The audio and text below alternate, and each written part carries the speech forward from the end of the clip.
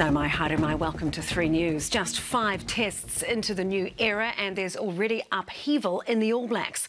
Assistant coach Leon MacDonald has quit the team on the eve of their departure to South Africa, citing unresolvable differences with head coach Scott Robertson.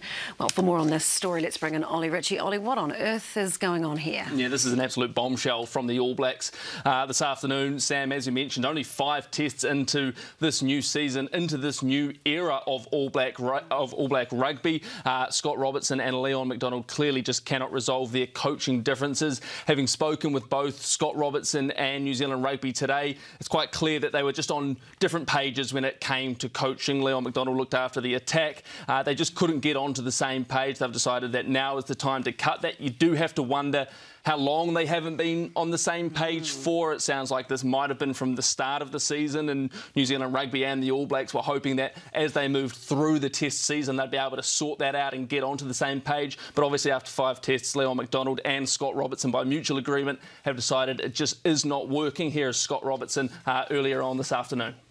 Over the period of time since we started coaching together, we just feel like uh, it hasn't quite clicked. Uh, we just quite haven't lined up where we need to on the rugby side of of it. Um, look, he's worked really hard. Uh, we just got to this point now.